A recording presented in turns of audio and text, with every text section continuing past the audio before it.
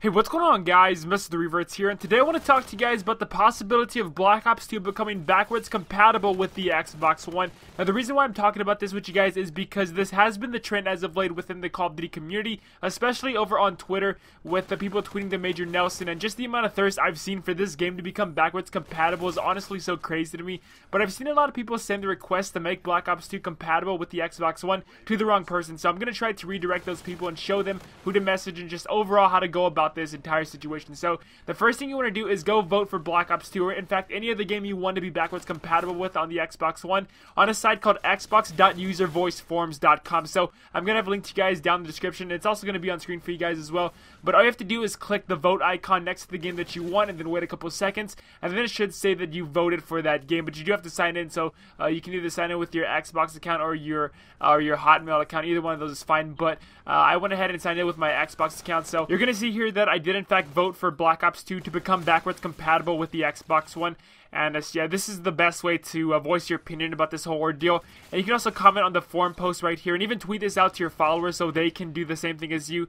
And uh, yeah, these are the best ways to voice your opinion and honestly make it happen instead of tweeting to Microsoft employees because I guarantee that uh, tweeting to them is not going to do anything. It's not going to make the process go any faster at all. But who you should be contacting via Twitter or email or actually any social media outreach is actually Activision, according to this blog post by Major Nelson right here. And I'm going to go ahead and read it off to you guys right now. And it says, Hey, I like to insert title here, so we're going to say Black Ops 2 to be playable on the Xbox One. Make that happen.